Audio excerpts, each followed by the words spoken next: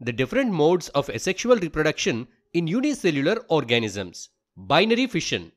Binary means two. Fission means splitting. In this mode of reproduction, one parent organism splits into two daughter organisms. This type of asexual reproduction is observed in single-celled organisms like amoeba, bacteria and euglena. The fission in amoeba can take place in any plane because it has no specific shape, whereas Leishmania splits in a specific direction since it has a specific shape.